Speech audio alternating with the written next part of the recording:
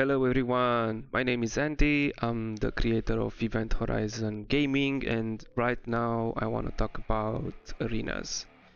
Currently, the current challenge in Arena is single target DPS, so naturally that means you're going to see a lot of Valerias, a lot of Sylases, Hexes, uh, Salazars and uh, a lot of uh, very good single target DPS. So what I will uh, want to do in this video is showcase my lineup, uh, help you copy it if you want, and also present what my lineup is vulnerable to, so you keep that in mind as well. So, uh, yeah, my lineup is composed of Toreador, Valeria, Hex, um, Dolores, and Elwyn uh, I found that without having a Sylas, uh, this is the best lineup that I can create. And um, it's focused mainly on um, providing a lot of buffs, a lot of buff for Valeria and Hex, but mainly Valeria. Uh, Valeria has a lot of timings, especially in this uh, single target fight. And um, yeah, uh, Toreador is in an invigoration set, um, I'm going to use the invigoration buff on Valeria and time Hex's ultimate, Valeria's ultimate and Dolores' ultimate with, uh, with the um, amount of NPCs that are coming in.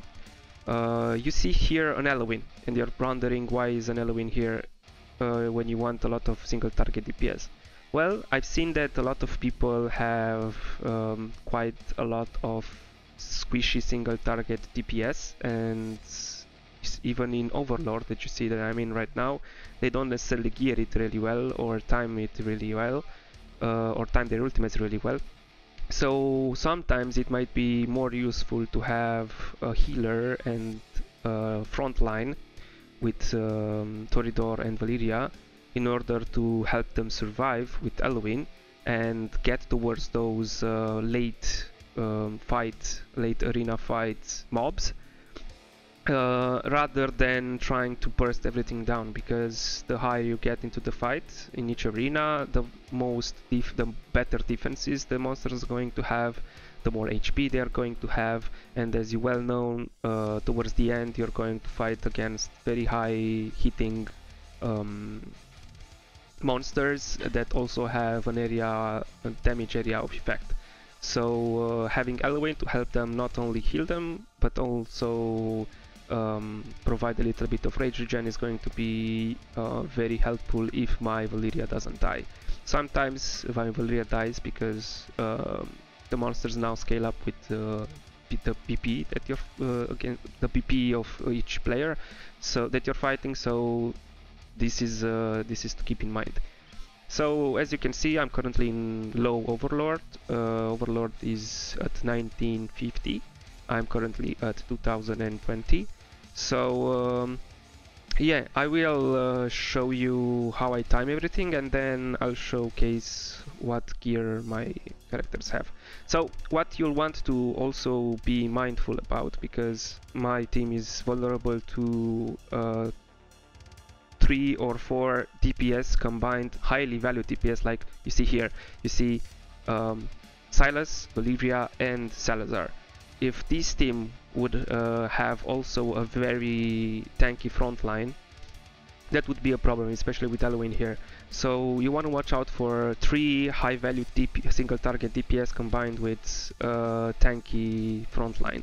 That's uh, that will going to be was going to make this composition my lineup pretty hard to uh, deal with the late fights. So I, I've already won this fight here, but I'm gonna try and see how this works with this composition here and hopefully showcase how I managed to win. Alright, so this guy has a bit of a higher PP than me, but it doesn't matter, I can still win. Uh, so we are going to focus on bringing Valeria first so I you put it down first you time her ultimate as soon as you see that ultimate pop just hit it and that's going to time pretty well with the next monster fight because she's going Valeria has a very high burst of DPS after her ultimate finishes and that's keeping it. You play down Hex, I I placed it a little bit early but it shouldn't matter. Uh, should a little bit late but it shouldn't matter. You plays down Dolores in here so it hits both Hex and Valeria. You activate Hex's ultimate because Valeria is still charging hers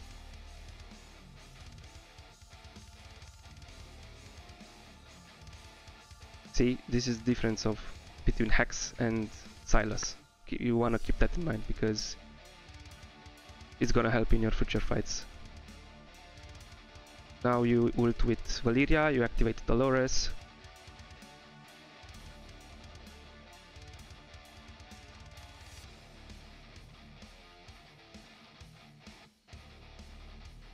I use Invigoration for Valeria. Hopefully she's not gonna die in uh, this fight. Uh, the opponent is pretty strong.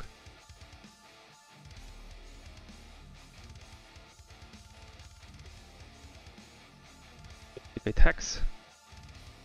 You put down Elowen so Valeria survives. And if we are manage if we manage to tank this up alongside uh, you activate Dolores, you activate Toreador, so there is a little bit more CC. And if we manage to survive this next phase, I think we're going to win. Because he has a squishier team, but it remains to be seen. See?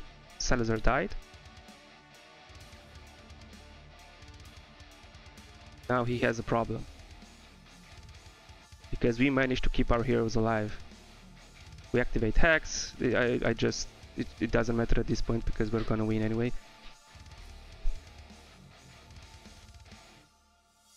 So yeah, even though his uh, his Sylas was way better than my than my Hex, we managed to win because we timed it better with Valeria and we helped her survive as you could see with Elowen and with the invigoration set of Toreador.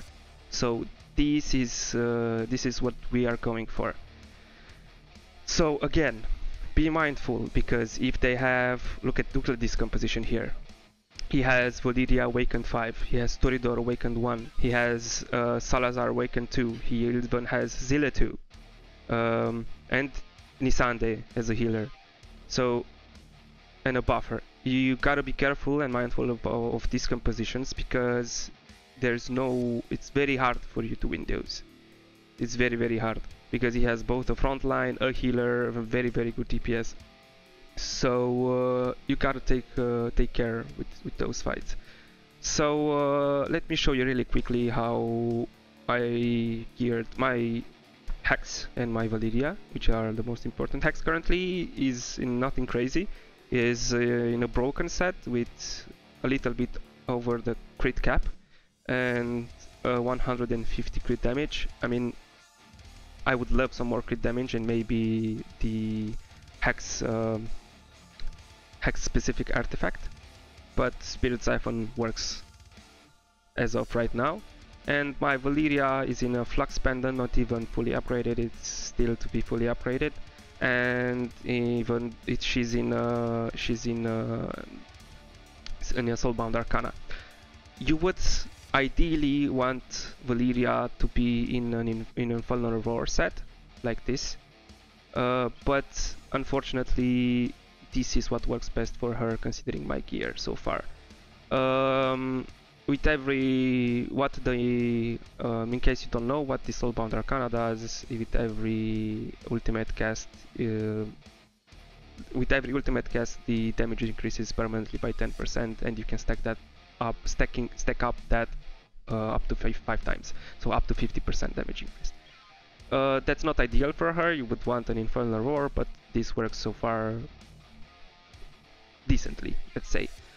So uh, yeah, um, I hope this was helpful. I hope uh, you can find some useful information from this video. You can copy my lineup and the strategy that I use. Uh, this can work, of course, even better in uh, in uh, lower in uh, lower elos, in platinum or downwards. and uh, the lower you go, the less um, you need a multitude of heroes. For example, this strategy can work in, I've seen it work in Platinum 3 and 2 only with Valeria, so you don't even necessarily need to, do anything else, you can just time Valeria well enough and the win is yours. So yeah, hope you enjoyed this video. Uh, if you would like me to talk about something else specifically or you have any questions, feel free to ask away in the comment section. Uh, don't forget to like the video, subscribe, let me uh, help me get to 100 subscribers. That would be amazing for me. I'm a new YouTuber. If you have any any inquiries or who knows any suggestions, make sure to to let me know. And uh, yeah, this has been Andy, Event Horizon Gaming. Bye bye.